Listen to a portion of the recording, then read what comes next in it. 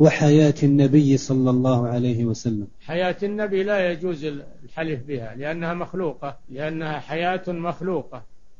فلا يجوز الحلف بحياة النبي أو حياة فلان لا يجوز هذا. الحلف بغير الله شرك.